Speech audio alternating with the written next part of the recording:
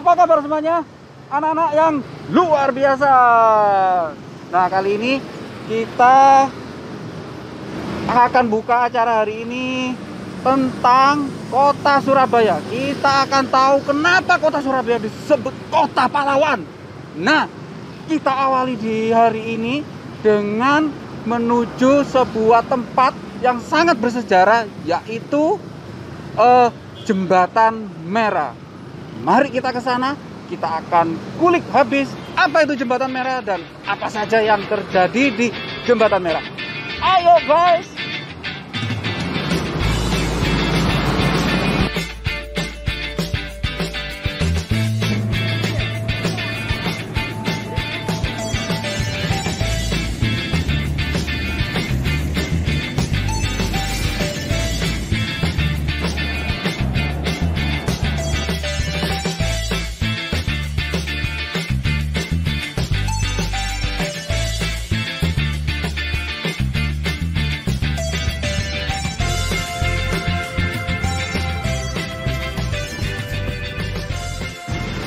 Nah, sekarang kita sudah berada di Jembatan Merah.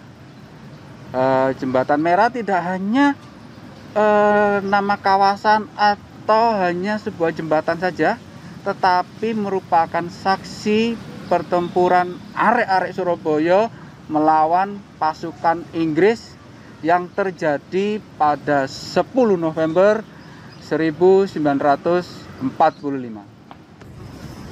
Jembatan Merah adalah saksi pertempuran eh, arek-arek Surabaya melawan pasukan Inggris pada tanggal 10 November 1945 yang menewaskan seorang jenderal. Nah, anak-anak, ayo kali ini kita akan tanya-tanya seputar tentang Jembatan Merah ini ke narasumber yang ada di sini ya. Kita ke sana yuk.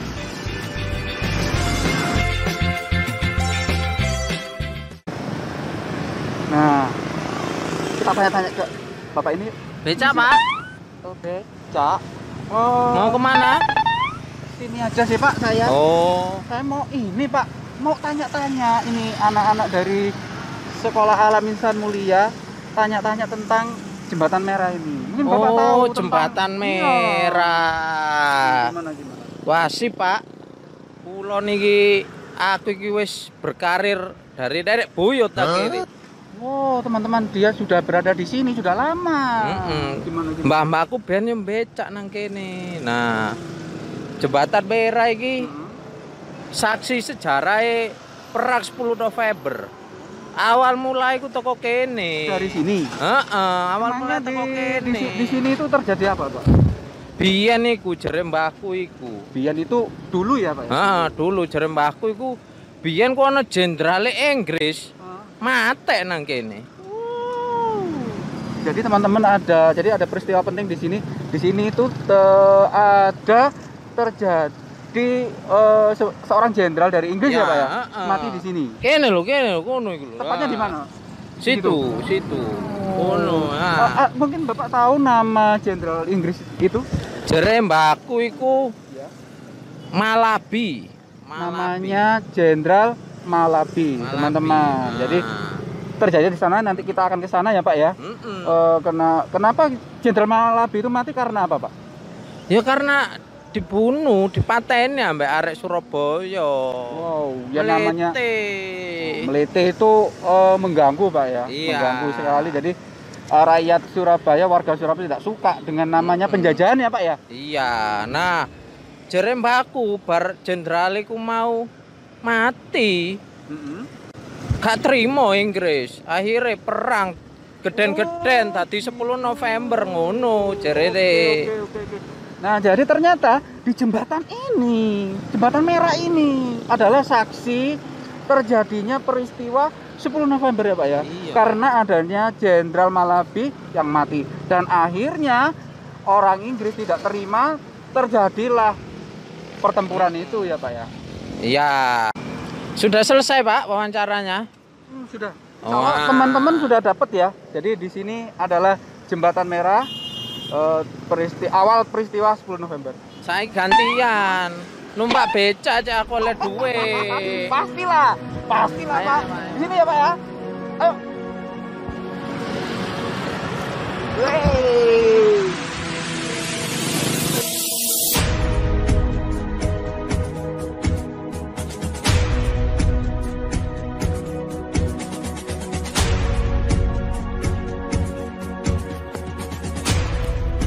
Tewasnya Jenderal Malabi menjadi alasan utama terjadinya pertempuran Surabaya.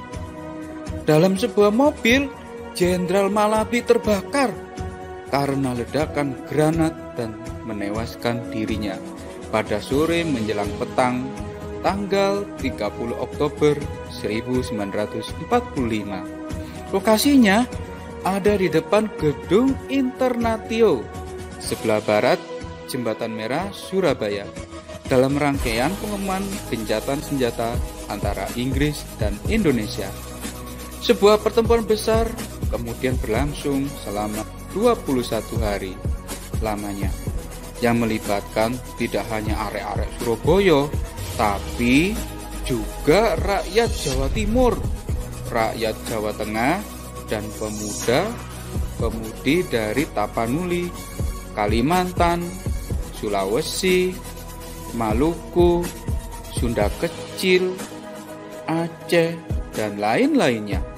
Mereka semua bahu-membahu mempertahankan kemerdekaan Indonesia di Surabaya.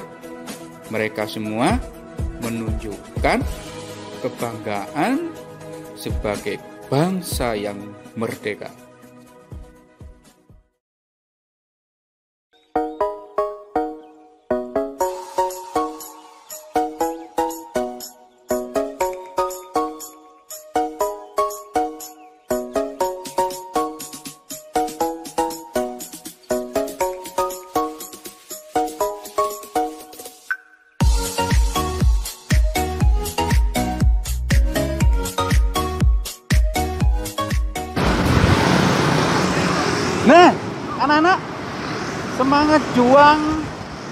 November tidak hanya di satu tempat saja, tetapi seperti di hotel ini anak-anak banyak menyimpan kenangan semangat juang peristiwa 10 November.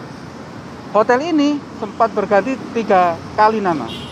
Yuk, mari kita tanya-tanya dan cari informasi tentang hotel ini yuk.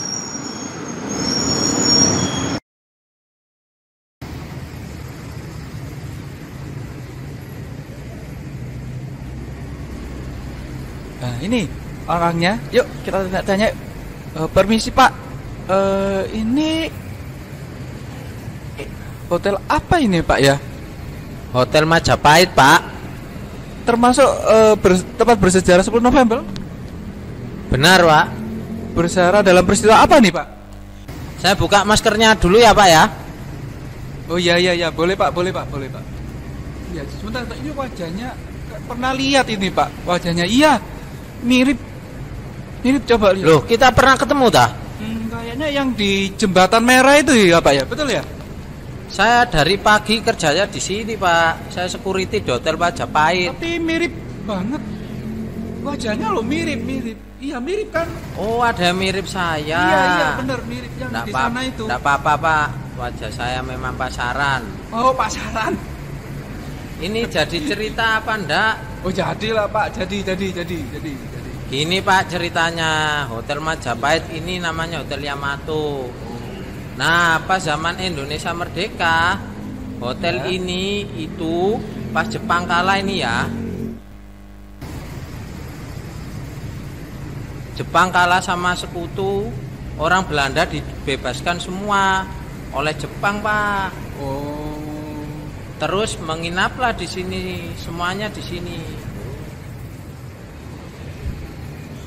Nah, setelah tinggal di hotel Yamato ini, Pak, orang-orang Belanda itu mengibarkan bendera merah, putih, biru. Nah, setelah dikibarkan, orang-orang Surabaya, arek-arek Surabaya yang ada di sekitar Hotel Yamato atau Hotel Majapahit itu. Tak terima, duh. Kok masih ada bendera merah putih biru? Benderanya Belanda, padahal kita kan sudah merdeka. Nah, akhirnya orang-orang Surabaya itu, Pak, masuk ke Hotel Majapahit. Setelah masuk, meminta orang Belanda untuk menurunkan benderanya. Tapi orang Belandanya nggak mau. Akhirnya terjadi bentrok orang Belanda sama arek-arek Surabaya. Nah, bentrok itu tidak cuma ada di dalam, sampai luar sampai akhirnya arek-arek Surabaya itu naik ke atas itu, ke atas Hotel Majapahit. Naik terus merobek bendera merah putih biru itu birunya dirobek tinggal jadi merah putih. Nah, itu yang jadi terkenal dan juga sangat heroik. Itu ceritanya yang keren di sini. Ah, terima kasih banyak Bapak, informasinya ya, sangat membantu sekali ya. Jadi eh, di tempat ini di hotel ini di Hotel Mojopahit ya Pak sekarang ya. namanya ya itu eh, merupakan tempat bersejarah dari peristiwa pertempuran 10 November uh, yaitu terjadinya peristiwa perobekan bendera merah putih biru. Nah, Hotel Majapahit atau dulunya bernama Hotel Oranye di zaman penjajahan Belanda atau Hotel Yamato pada masa pendudukan Jepang adalah tempat kita memperingati peristiwa perobekan bendera Belanda di puncak hotel itu pada tanggal 19 September 1945. Segenap tenaga arek-arek Surabaya bertaruh jiwa menurunkan bendera kolonial itu. Setelah proklamasi kemerdekaan 17 Agustus 1945, Semarak kemerdekaan membuat pemuda Surabaya dengan penuh semangat merobek bendera Belanda yang masih berkibar di hotel tersebut. Peristiwa perobekan bendera ini adalah peristiwa pertama pertempuran di kota Surabaya.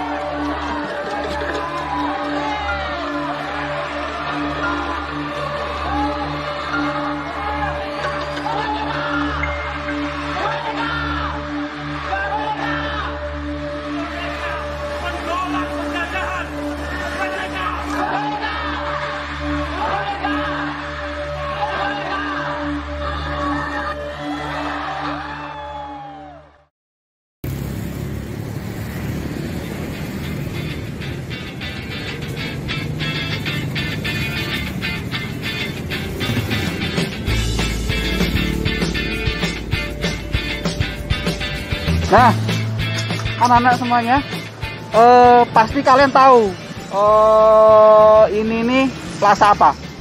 Nah, yakin Ustaz tahu kalian ini adalah Plaza Surabaya. Nah, ini juga dulu itu adalah tempat bersejarah yang berkaitan dengan peristiwa 10 November. Nah, ada peristiwa apa sih sebetulnya di Plaza Surabaya ini dulu?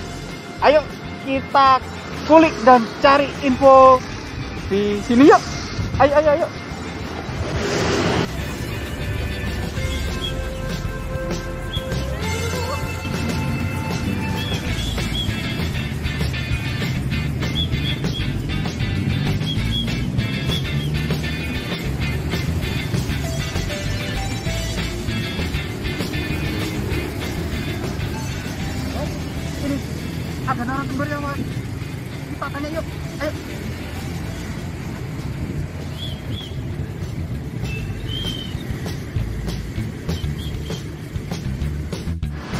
Nah, teman-teman, eh seperti yang tadi saya sampaikan, ada apa sih sebetulnya di Plaza Surabaya pada waktu itu?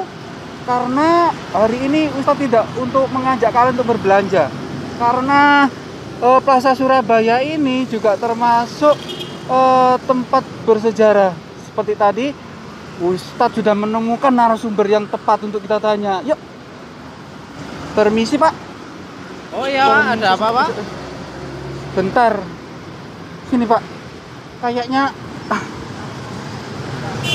teman-teman coba lihat sekali lagi ya.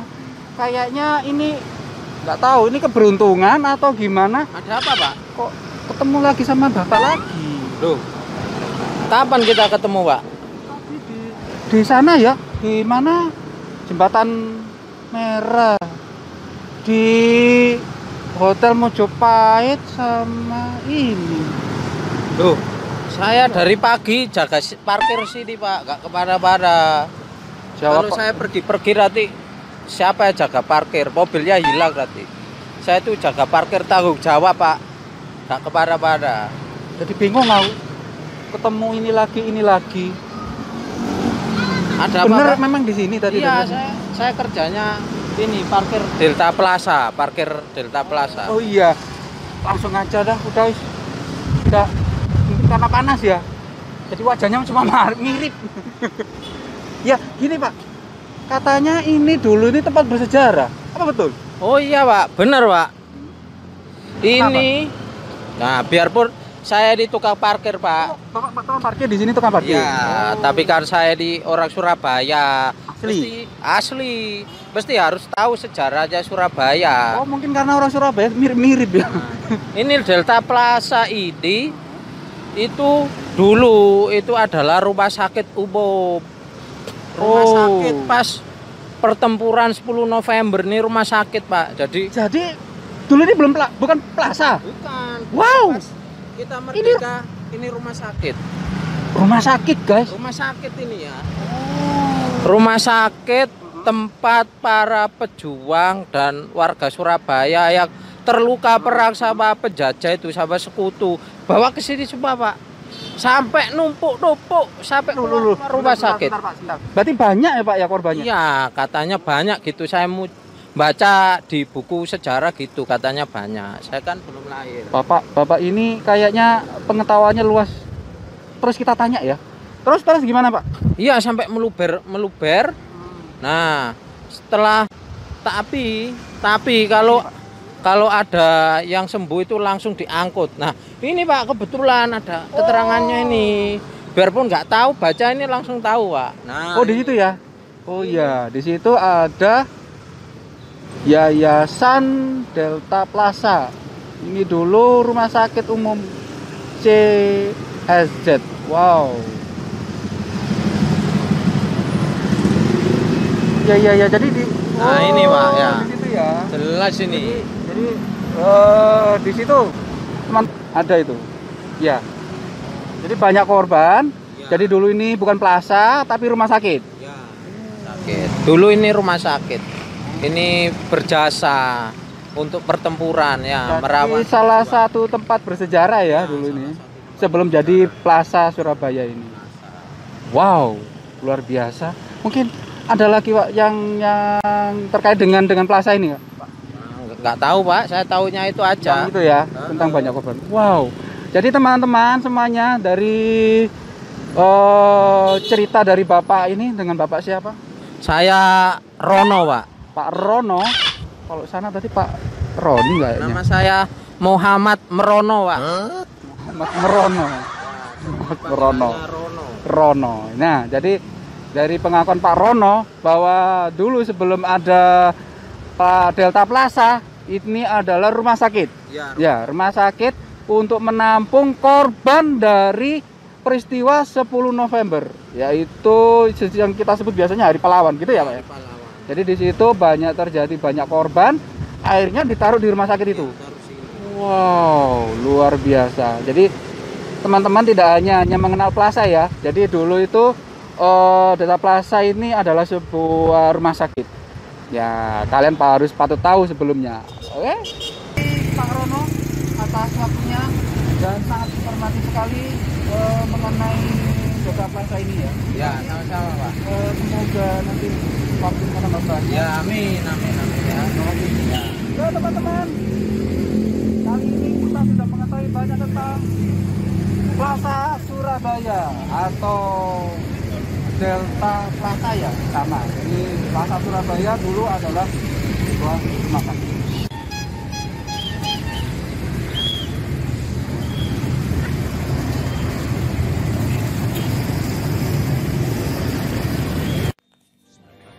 Nah, anak-anak, sekarang kita tahu bangunan Delta Plaza itu dulunya adalah sebuah rumah sakit yang dikenal sebagai rumah sakit Simpang. Ketika pertempuran Surabaya berlangsung, mayat bertumpuk di rumah sakit Simpang Surabaya. Penguburan pertama meliputi 26 orang pahlawan yang betul-betul korban pertempuran melawan Inggris. Karena pengangkutan makin hari makin sulit, maka mayat-mayat dikubur di tempat tidak jauh mereka meninggal. Hanya korban luka-luka saja yang dibawa ke rumah sakit. Pada hari kelima, tanggal 14 November 1945, rumah sakit sudah penuh sehingga para korban dievakuasi dengan kereta api ke Malang, Sidoarjo, Jombang, Mojokerto, Probolinggo, dan Ponorogo.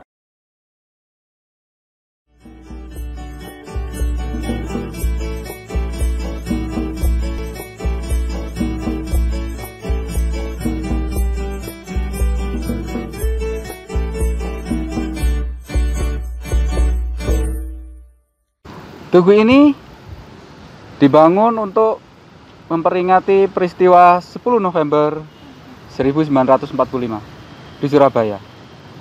Untuk itu, tugu ini juga dibangun sebagai simbol dari kota Surabaya sebagai sekaligus peringat untuk memperingati peristiwa 10 November. Kita akan mencari eh, narasumber di sekitar, di sekitar sini yang mungkin bisa menjelaskan tentang sejarah Tugu Pahlawan. Ya, mari kita bersama-sama. yuk. Oh, ini. Dan di sini ada teman. Oh, sebentar teman-teman ini. kami Selamat pernah- siang, Bapak. Eh, iya, Ada yang bisa Siang. dibantu? iya. Ini mau pernah tahu ya dari mau eh, tanya-tanya ini Bapak. Saya tour guide di sini di Tugu Pahlawan. Tapi kayaknya tadi pernah ketemu deh. Oh iya. Iya. Padahal saya pakai masker loh, Pak. Ya udahlah, mungkin saya yang salah itu teman-teman. Eh, Bapak bisa menjelaskan eh, di sini itu kenapa ada Tugu Pahlawan? Eh, terus apa makna dari Tugu Pahlawan ini, Bapak? Oh iya, bisa. Mm-mm. Jadi sekalian saya antar itu ya, Bapak keliling. Oh, sebelumnya ini dengan siapa daripada? Kami dari Sekolah Alam Insan Mulia. Oh, dari sekolah Alam Saim itu ya. Ya, Oh, yang yang terkenal itu ya. Wah. Bagus sekali. Berarti kalau buat anak-anak itu cocok sekali untuk keliling Tugu Pahlawan ya. Kita akan masuk ke Tugu Museum Tugu Pahlawan untuk melihat diorama-diorama dan juga cerita di dalamnya ya. Oke, mari saya antar, Pak. Oke, ya, kita yuk ya? kita berangkat. Ayo, ayo, ayo, guys.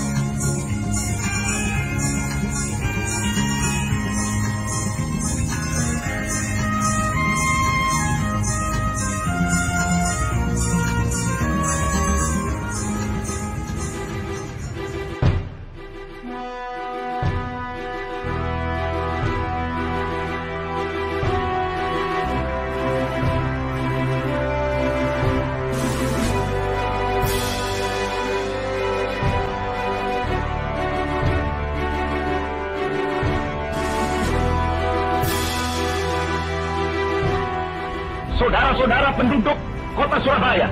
Selama banteng-banteng Indonesia masih mempunyai darah merah yang dapat membikin setarik kain putih, merah dan putih, maka selama itu tidak akan kita mau menyerah kepada siapa pun juga.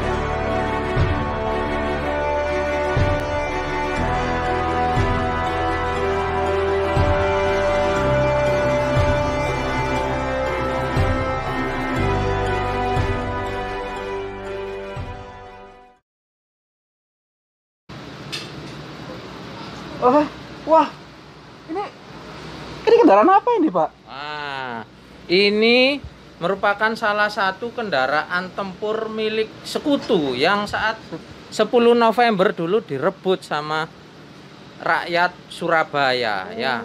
Jadi ini namanya Dimo ya. Ini kendaraan lapis baja yang ada ini senapan ini senapan ini yang biasanya untuk itu ya pertempuran. Nah, ini berhasil direbut oleh rakyat Surabaya. Surabaya. Nah, Oh, ini ya. Peristiwa 10 November ya, pertempuran 10 November. Nah, wow, itu. luar biasa ya ternyata. Wah, dengan persenjataan yang mungkin ala kadarnya pada masa itu Iya. ya Pak ya. Iya. Hmm. Dan dengan dapat merebut senjata seperti ini lumayan menambah kekuatan dari rakyat Surabaya. Oke. Wow, Nah, keren guys. Surabaya, oh Surabaya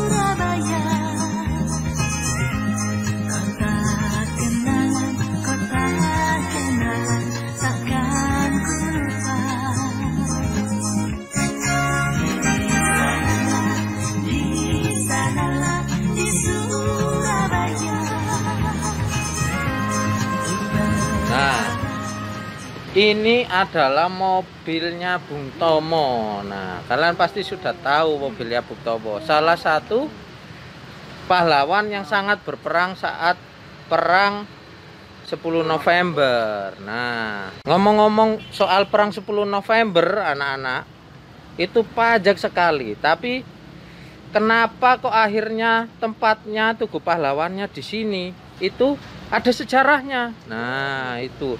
Jadi Tugu Pahlawan ini dulu zaman penjajahan Belanda merupakan gedung pengadilan. Nah, setelah beralih ke Jepang ini jadi gedung militer. Namanya gedungnya Kempetai. Nah, gedung Kempetai ini adalah gedungnya polisi rahasia Jepang. Nah, kalau sekarang yang lagi lagi tenar tuh mung- mungkin mirip kayak di Naruto Naruto itu loh, ninja ninja itu. Nah, itu dia. Nah, seperti di film ninja ninja itu, tapi kalau di Naruto itu kan ninjanya nggak kejam. Nah, Kempetai ini polisi rahasia yang sangat kejam saat zaman Jepang. Jadi biasanya menangkapi orang-orang Indonesia yang sering protes ke Jepang. Jadi ditangkap, dibawa ke sini dan cerita aja kalau sudah masuk ke sini itu orangnya tidak akan keluar lagi.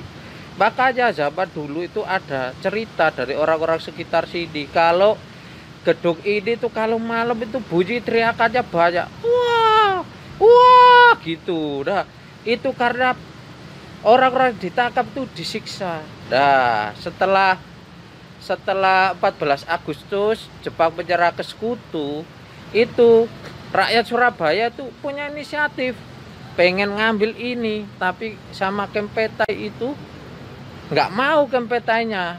Nah, akhirnya terjadi baku hantam sama rakyat Surabaya. Nah, setelah bertempur dengan rakyat Surabaya, akhirnya gedung ini berhasil diambil alih oleh rakyat Surabaya.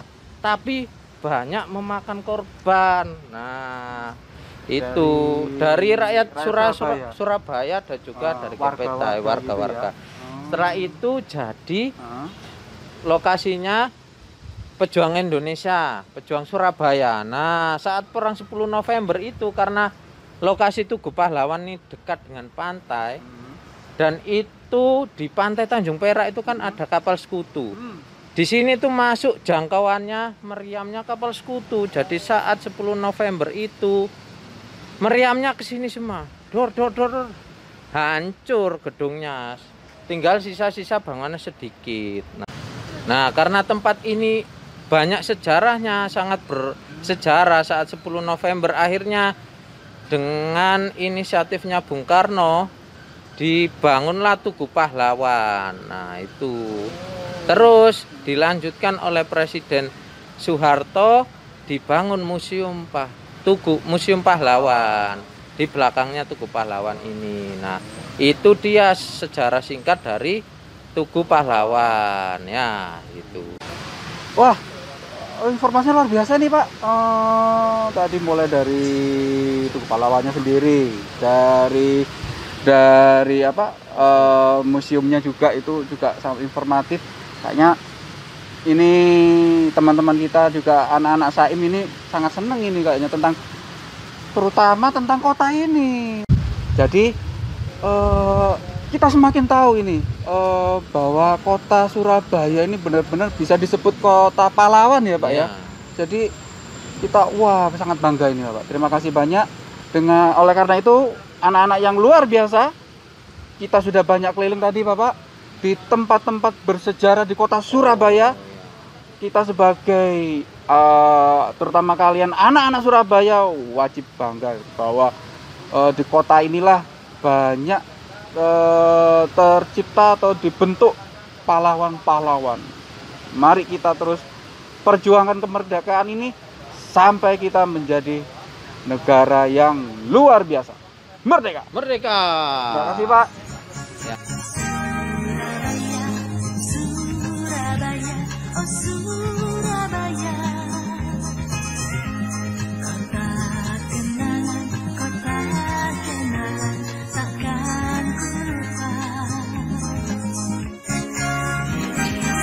terakhir yang kita kunjungi ini menjadi lokasi penting bagi kita untuk belajar sejarah, khususnya sejarah pertempuran 10 November 1945. Maka dari itu, Tugu Pahlawan menjadi simbol kota Surabaya, sekaligus simbol sejarah pertempuran 10 November di Surabaya.